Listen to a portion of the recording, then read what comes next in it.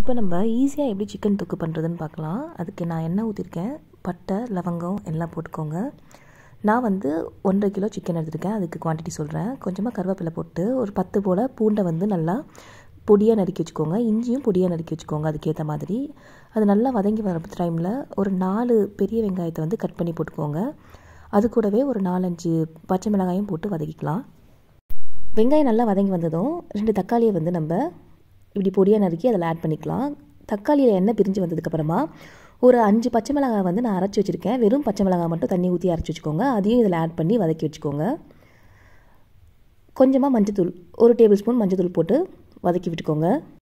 இந்த ஸ்டேஜில் நம்ம சிக்கன் ஆட் பண்ணிக்க போகிறோம் நான் சிக்கனில் வந்து கொஞ்சமாக தயிர் ஊற்றி மேரினேட் பண்ணி வச்சுட்டேன் ஒரு ஆஃப் அன் ஹவர் அந்த சிக்கனை இங்கே ஆட் பண்ணிக்கலாம்.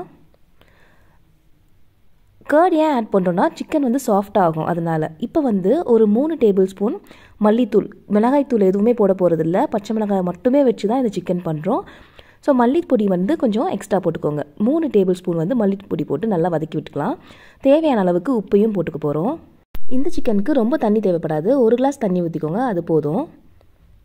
அவ்வளோதான் இந்த அளவுக்கு நல்லா கொதிச்சு வந்ததுக்கப்புறமா எண்ணெய் பிரிஞ்சு வர்ற வரைக்கும் நீங்கள் வெயிட் பண்ணுங்கள் அது ட்ரை ஆகட்டும்.